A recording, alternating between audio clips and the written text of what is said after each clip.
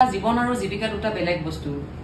জীৱন জীৱনটো পৰিচালিত হবলৈ হলে জীৱিকা লাগে আৰু যদি জীৱনটোৱে নাথাকে তেতিয়াহলে জীৱিকা মূল্যহীন।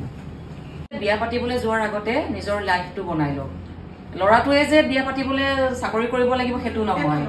ছোৱালীজনীও বিয়া পতাৰ আগতে চাকৰি কৰিবলৈ মানে চাকৰি কৰাটো উচিত। যিকোনো থিয় হ'ব। বিয়া হোৱাৰ আগমুহূৰ্তত এবাৰ ভাবক মই কি জানো? ভাত ৰান্ধিবলৈ চবেই জানে ল'ৰাটোও ভাত ৰান্ধিব জানে। কিন্তু মই আৰু তাৰ ওপৰৰ ওপৰঞ্চি মই কি কৰিব জানো? সেই কথাটো ভাবি ল'ব। আচলতে এখন সংসাৰ এজন ল'ৰাৰ টকাৰে মা দেউতা ঘৰৰ পৰিয়াল চবকে চলাবলৈ তেওঁলোকৰো মানসিক স্থিতি ইমান মানে শক্তিশালী বা সবল হৈ নাথাকে। হাতৰ কামেই হওক হাতৰ বিদ্যা যেতিয়ালৈকে থাকিব আপুনি বেজীটো দিবলৈ বেজীটো মানুহক দিবলৈ শিকাটো আপোনাৰ গাঁওখনত এক পাক মাৰিলে আপুনি আপোনাৰ দিনটোৰ হাজিৰা ওলাই যাব।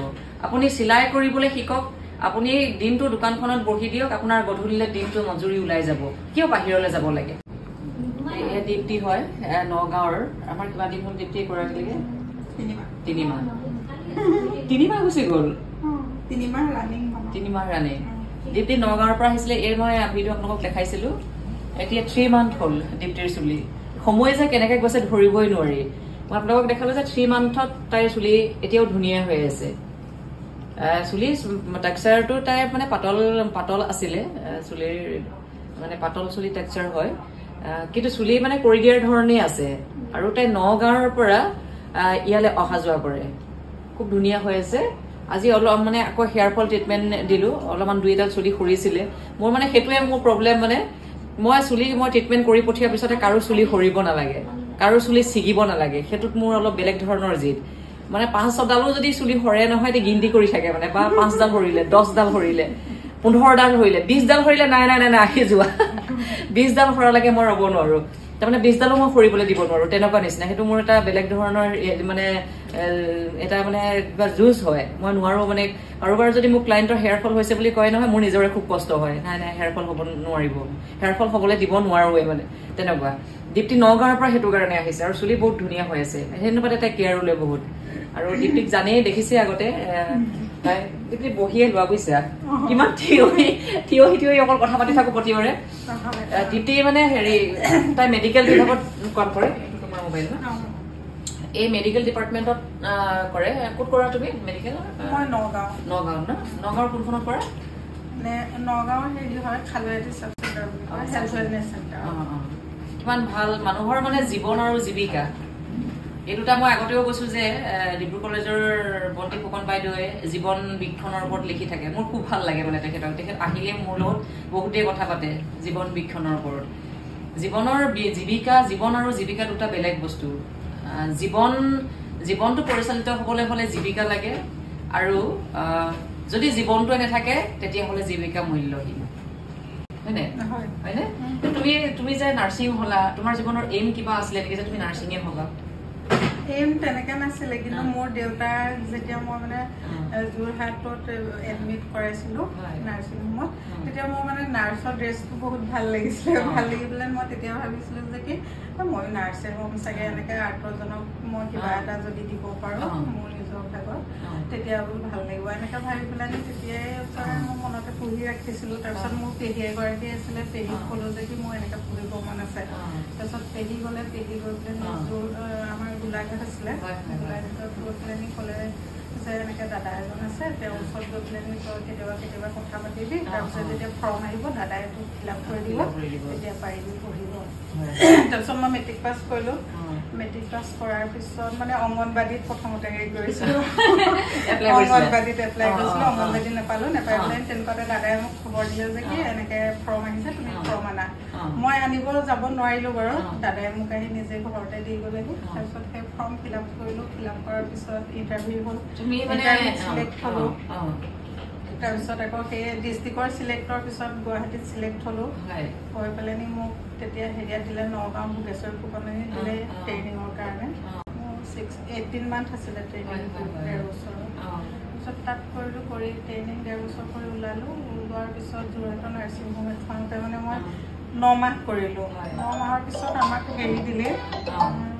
এপইণ্টমেণ্ট পালোঁ আমি এন এইচ এমত।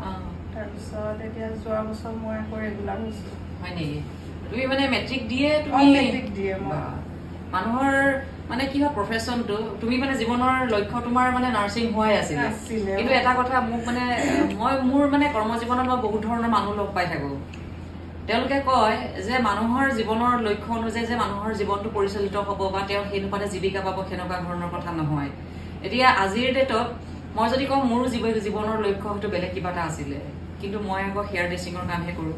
তেখেতে সেই কথাটো মোক মানে মই এইবোৰ কৰাৰ বহুত দিনৰ আগতে হয়তো মই জব কৰি থকা অৱস্থাতে তেখেতে লগ পাইছিলো। তেখেতে তেতিয়া কৈছে তুমি চাবা তোমাৰ জীৱনত তুমি পঢ়ি থকা অৱস্থাত বহুত চোকা চোকা ল'ৰা ছোৱালী পাবা বহুত উদণ্ড ল'ৰা ছোৱালীও পাবা আৰু এনি টাইম কিতাপ পঢ়ি কিতাপ পঢ়ি ব্যস্ত হৈ থকা ল'ৰা ছোৱালীও পাবা কিন্তু সেই ল'ৰা ছোৱালীখিনিৰ মাজত যেতিয়া তুমি এদিন পৈণত অৱস্থাত পাবা তেতিয়া দেখিবা যে তোমাৰ লগৰ আটাইতকৈ আগলি যিজনী ছোৱালী আটাইতকৈ দেখিবলৈ বেয়া সেই ছোৱালীজনী চাবা খুব ডাঙৰ এগৰাকী মানে মেকআপ আৰ্টিষ্ট হৈ আছে।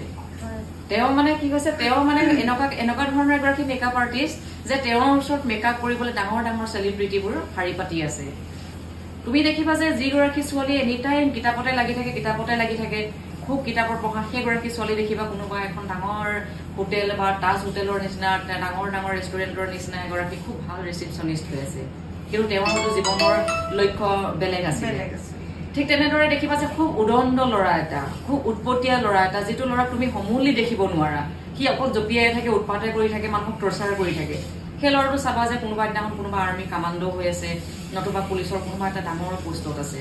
সেইটো কাৰণে কৈছে যে জীৱন আৰু জীৱিকা দুটা বেলেগ বস্তু। তোমাৰ জীৱনে তুমি যদিও লক্ষ্য কোনটো সেইটো তুমি বাছি লৈছা কিন্তু তোমাৰ হয়তো জীৱনে সেই লক্ষ্যলৈ তোমাক লৈ নাযাবও পাৰে। তোমাৰ ৰাস্তা পথত তুমি তেনেকুৱা ধৰণৰ ঢেৰ পথ পাবা। হয়তো তাৰ নিৰ্দিষ্ট এটা পথ তোমাৰ ভাল লাগিব সেই পথটোক তুমি ৰৈ গলা। আজিৰ ডেটত মই নিজেই দেখিছো যে মোৰ লগত মোৰ মানে এইটো প্ৰফেশ্যন মই একেবাৰে মোৰ অচিনাকি প্ৰফেশ্যন। কিন্তু মই ৰাস্তাৰ জীৱনৰ বাটত আহি থাকোতে আহি থাকোতে এই প্ৰফেশ্যনটো মোৰ খুব ভাল লাগিলে। কিন্তু মই ইয়াৰ মাজত ৰৈ গলো। হয়। হয়তো তোমাৰো চাগে তেনেকে মানে তোমাৰ সেই হঠাতে দেউতাক হস্পিটেললৈ আনিলা।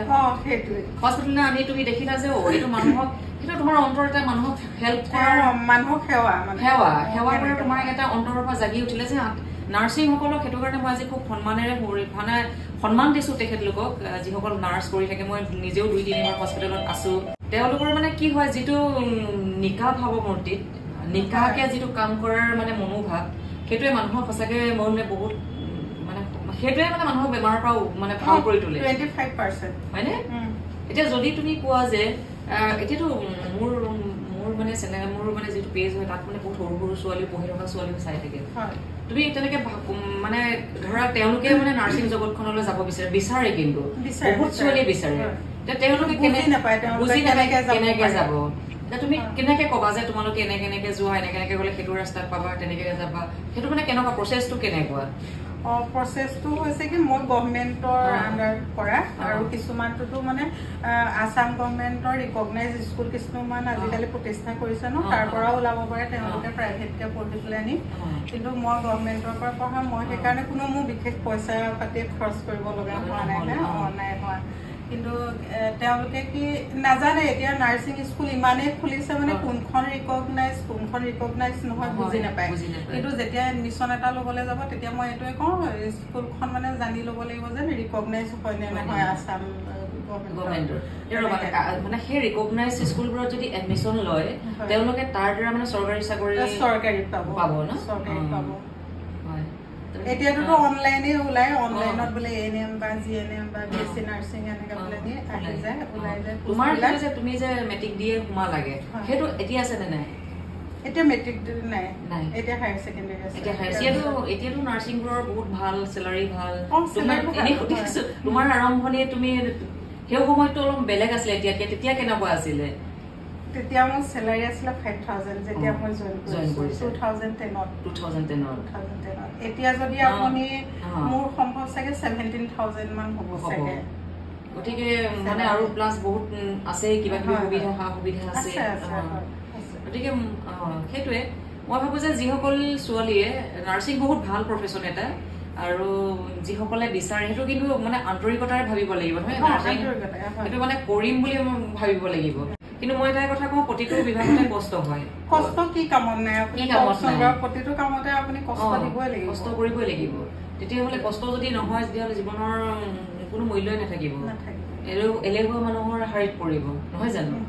গতিকে যিসকলে ইচ্ছা কৰে যিসকলে ইচ্ছা কৰে যে নাৰ্ছিং প্ৰচেছ মানে নাৰ্ছিং কৰিম বুলি যিসকল ছোৱালীয়ে গতিকে কিছুমান প্ৰচেছ থাকে যে আমাৰ এতিয়া অসম চৰকাৰে গভ ৰিকগনাইজ কিছুমান স্কুল প্ৰতিষ্ঠা কৰিছে। মানে এনেইতো প্ৰাইভেটলি বহুতত সেইবোৰ শিকায়। কিন্তু চৰকাৰী চাকৰি পাবলৈ হ'লে আজিকালি সুবিধাও। হেল্থত চাকৰি পাবলৈ ইমান মানে ইণ্টাৰভিউ দিলেই হৈয়ে যায় নহয়নে? হয়নে? কোৱালিফিকেশ্যনটো লাগে কোৱালিফিকেশ্যন হ'ব লাগে। আৰু মানে ভাল মানে এটা মানে ইনষ্টিটিউটৰ পৰা ওলাব লাগে। আৰু ভাল পাৰ্চেণ্টেজ লৈ পাছ কৰিলে মই ভাবিছো ইমান কষ্ট নহয় নেকি?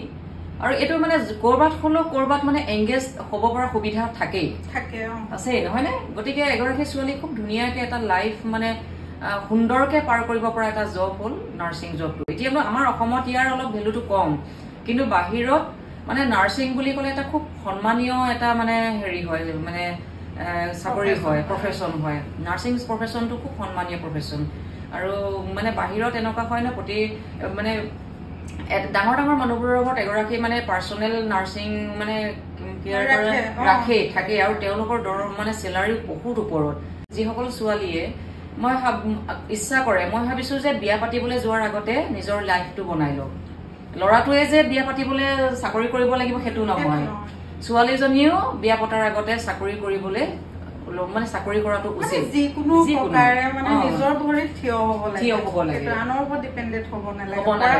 পৰাপক্ষত। আৰু বৰ্তমান বিয়া। সংসাৰ বিলাক গম পাইছে ন সেইটোৱে। সম্পূৰ্ণকে মানে এজনৰ ওপৰত নিৰ্ভৰ কৰি আপুনি চলাব চলাব নোৱাৰে নোৱাৰি। দুইজনে সমানে আৰু চলাব সেইটোতে লাগিব। ভুলটো তাতে হৈ যায় হয়, হয়। আমি যিমান ভাল চাকৰি কৰা ল'ৰা এটালে বিয়া পাতিলেও আচলতে এখন সংসাৰ এজন ল'ৰাৰ টকাৰে মা দেউতা ঘৰৰ পৰিয়াল চবকে চলাবলৈ তেওঁলোকৰো মানসিক স্থিতি ইমান মানে শক্তিশালী বা সবল হৈ নাথাকে গতিকে বিয়া পতাৰ আগতে প্ৰতিগৰাকী ছোৱালীয়ে এটা কথা ভাবক যে মই নিজে ষ্টাব্লিছ হৈ লওঁ হাতৰ কামেই হওক হাতৰ বিদ্যা যেতিয়ালৈকে থাকিব আপুনি বেজীটো দিবলৈ বেজীটো মানুহক দিবলৈ শিকাটো আপোনাৰ গাঁওখনত এক পাক মাৰিলে আপুনি আপোনাৰ দিনটোৰ হাজিৰা ওলাই যাব।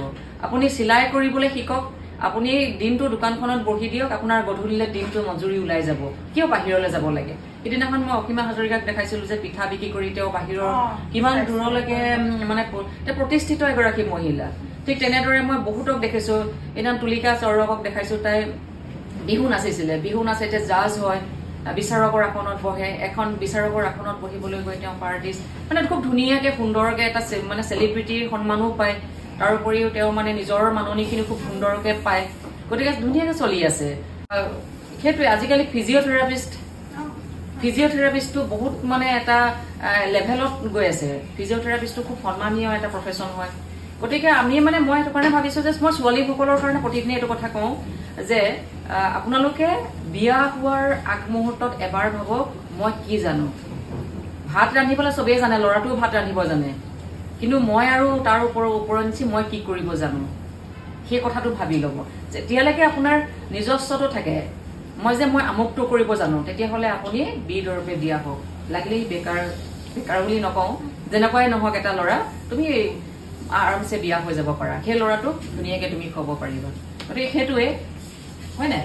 এতিয়া মই দীপ্তিক সেইটো কাৰণে আপোনালোকৰ ওচৰত দেখালো যে তাই আজি মানে সফল।